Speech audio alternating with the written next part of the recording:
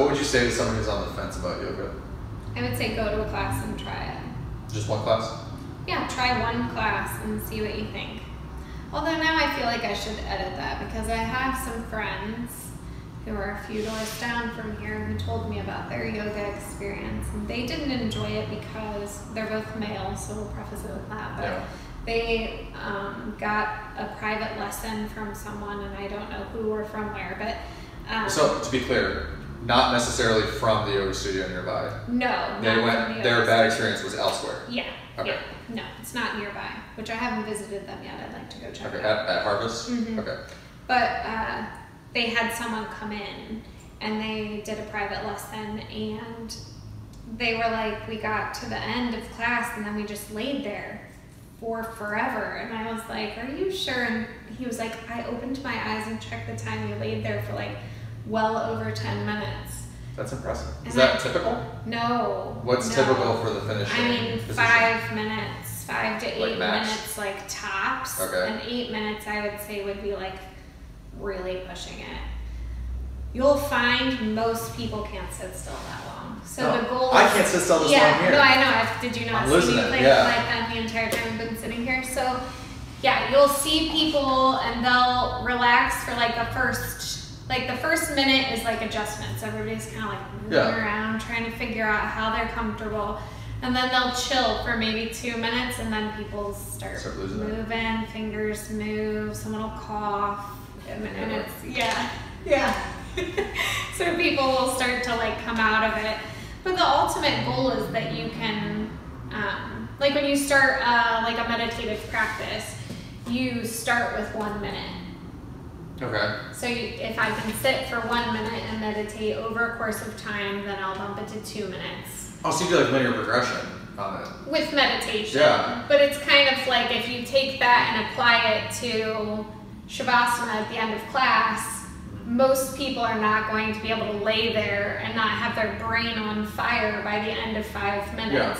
So you have to to preface that. Like you'd have to know the person beforehand to know Yeah. we're gonna do ten minutes of this because we're Yeah. all at that level. Yeah.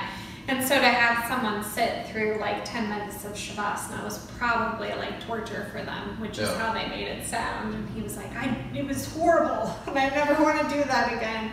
So I would say, you know, maybe two classes at two different places.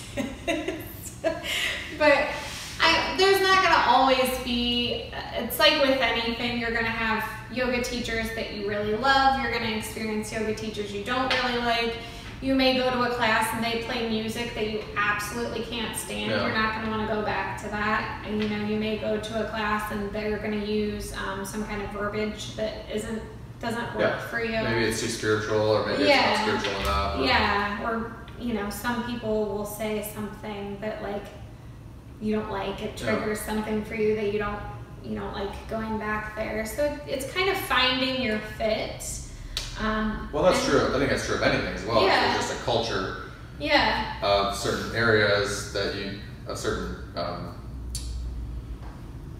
there's a there's a culture that you do like for an Mhm. activity and there's a culture you're probably not going to like and you have to kind of Right. that out and figure it out yeah.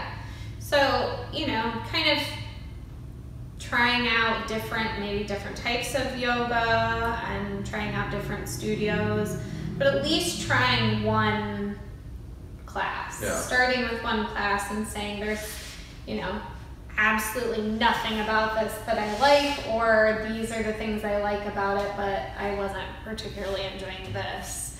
And I think even having like an like I because I just got started teaching, Mhm. I try and have like a really open line of communication with the people who come into my class. Is there anything about my class you didn't like? Is, right Was there something that um, you thought would make the class better?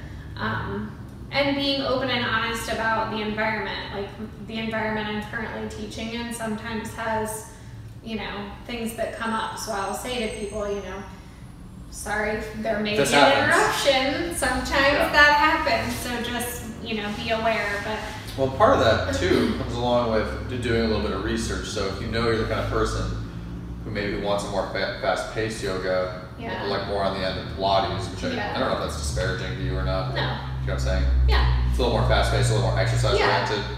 You should kind of know what type of yoga you're getting into beforehand, and that would increase the likelihood that you'll enjoy it. Yes, yeah.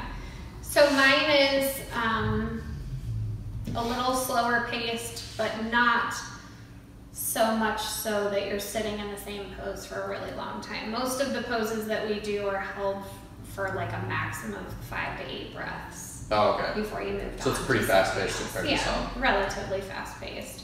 Um, but like if you do uh, like hot yoga, which I like, uh, it's a really heated room. Um, but that's more of a fast-paced yoga, and the, the poses are it's more of like a moderate to hard Mm. style of yoga. So The poses are challenging, and it's also fast paced. yeah, Okay. you're kind of It's not fucking hot. yeah, and you're sweating to death.